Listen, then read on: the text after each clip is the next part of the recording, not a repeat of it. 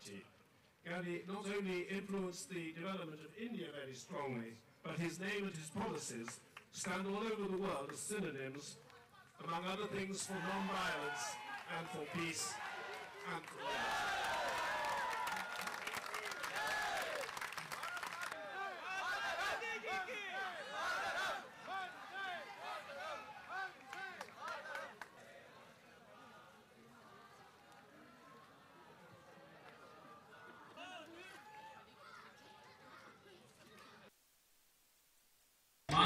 गांधी भारत में जन्मे ज़रूर थे। महात्मा गांधी पिछली शताब्दी में जन्मे ज़रूर थे। लेकिन न वो सिर्फ़ भारत के थे, न ही वो बीती हुई शताब्दी के थे। वे पूरे विश्व के थे और वे युग पुरुष थे।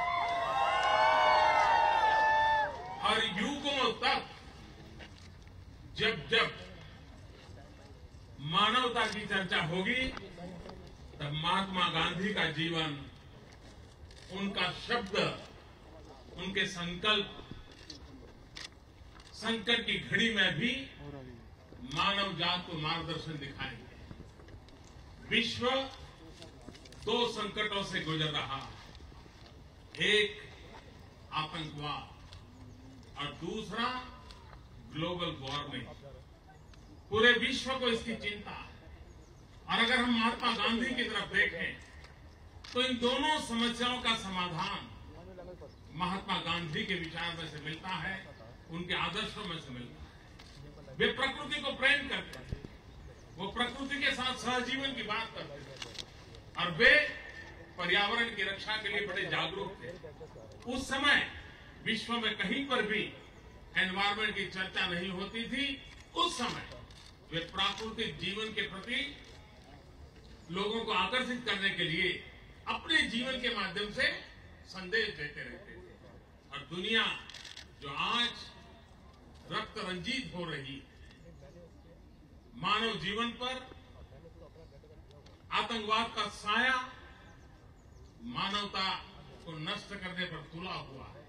तब महात्मा गांधी का अहिंसा का संदेश, महात्मा गांधी का सहजीवन का संदेश और भारत की धरती का वसुधैव कुटुंबकम का संदेश, इस संकट से मानव को बचाने का उत्तम रास्ता है। और उस अर्थ में महात्मा गांधी आज भी पूरी मानव जात के लिए आदर्श है, प्रेरक है।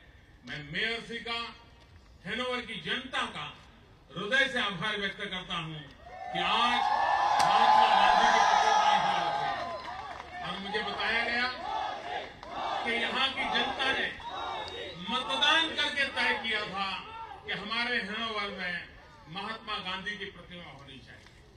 लोकतांत्रिक तरीके से।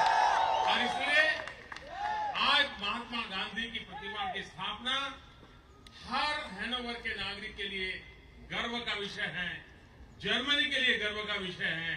और मैंने जैसे कहा, हर भारतीय तो गर्व करेगा, लेकिन मानवता में विश्वास करने वाले विश्व के हर व्यक्ति के लिए आज गर्व का अवसर है। मैं मैं फिर से एक बार मेयर श्री का बहुत बहुत अभिनंदन करता हूँ।